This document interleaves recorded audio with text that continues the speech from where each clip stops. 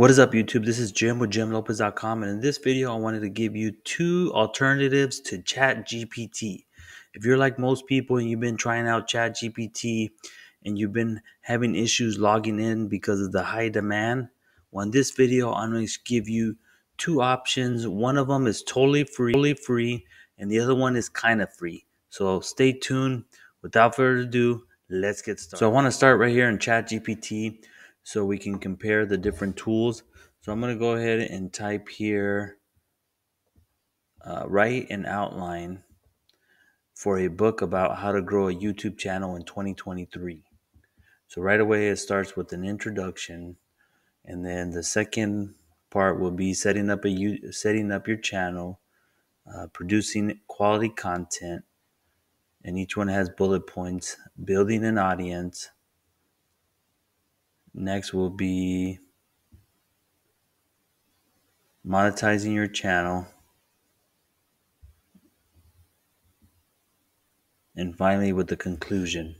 So, within a matter of few seconds, uh, ChatGPT was able to create a full outline on how to how to grow a YouTube channel in 2023. So the first tool I want to show you is called ChatSonic. ChatSonic is uh, a product of Writesonic. So if you want to set up an account, you can set up an account with Writesonic. Writesonic has a free trial uh, plan where it's zero a month and no credit card needed.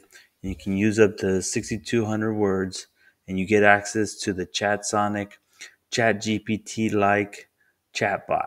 You also get um, access to uh, over 100 plus AI templates, 25 languages, and you also get a few other things you get access to. But with this free trial, you get to use it and you get access to ChatSonic. So this is ChatSonic, and the awesome part about ChatSonic is that it includes the latest Google update. So you can uh, right here it says find uh, write factual content on the latest topics, including today's news and you can also create digital art and visual. So I'll just give you a real quick example here. So you can ask it to create art. So this is generate an HD image. Okay, so we're gonna go ahead and put that. So not only is it just typing, you can also request images.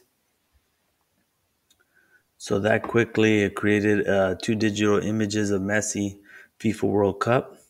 But for right now, what we want to do is go ahead and type in, uh, write an outline, the same we did for Chat GPT.